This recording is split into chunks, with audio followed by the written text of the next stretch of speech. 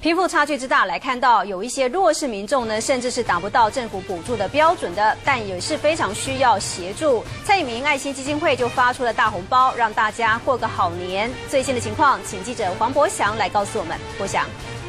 好，主播蔡英文爱心基金会今天特别针对弱势却领不到补助款的民众，那准备了两百六十万要来发放春节礼金。那现场聚集的七十几位民众，来看看稍早的画面。就是对小孩子有，就是有一餐像样的餐的，哎，过年的时候，对对对，吃饭可以比较吃得饱，对对对。因为其实现在赚钱啊，不管是自己在外面接 case 啊、打工啊之类，其实都觉得蛮辛苦的，